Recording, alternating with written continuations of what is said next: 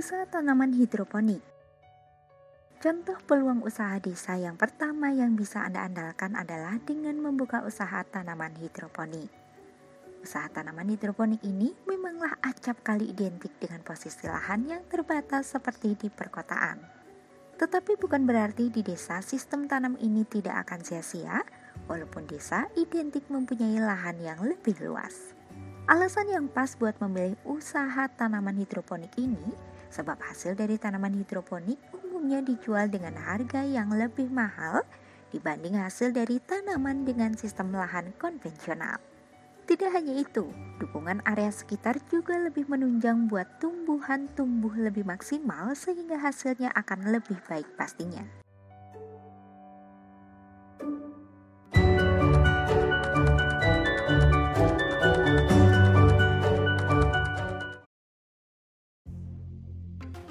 Membuka pom bensin mini Peluang usaha kedua yang dapat diandalkan sebagai peluang usaha desa yakni dengan membuka pom bensin mini. Kebutuhan akan bahan bakar di desa acap kali jadi hambatan buat pertumbuhan warga desa yang saat ini juga memerlukan mobilitas. Keberadaan pom bensin mini juga dikira bisa menggerakkan ekonomi warga desa. Walaupun modal dari peluang usaha ini lumayan besar, berkisar antara 7 juta rupiah, tetapi peluang usaha yang terpaut dengan kebutuhan primer yang dalam hal ini ialah bahan bakar kendaraan, paling tidak menjanjikan peluang usaha kamu takkan sepi.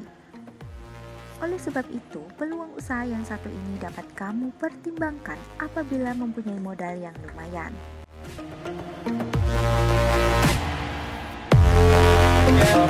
Yeah. Ternak ayam kampung dengan tata cara yang tepat.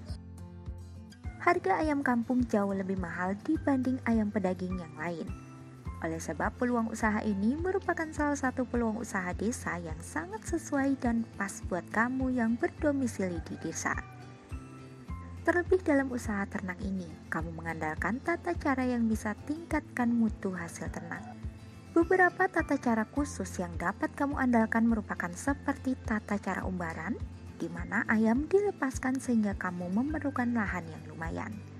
Tata cara kedua merupakan semi intensif dan yang ketiga, apakah ada model intensif yang mana ternak ditempatkan dalam kandang dan dirawat dengan pemberian pakan secara intensif.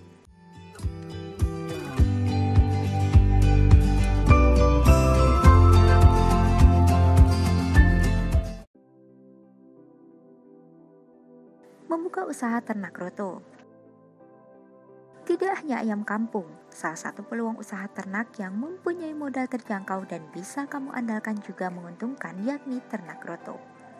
Ternak roto memanglah mempunyai pangsa pasar yang lebih kecil, cuma dijual buat pakan seperti burung ataupun ikan.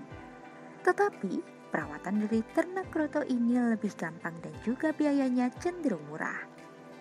Kamu juga dapat mengandalkan peluang usaha ini sebagai pekerjaan sampingan sebab ternaknya yang cenderung gampang mulai dari tempat ternak sampai perawatannya. Buat tempat ternak, kamu dapat memakai toples. Buat panennya berkisar antara 15 sampai 20 hari. Buat tiap toples, kamu dapat memperoleh 1 sampai 2 on semut grotol.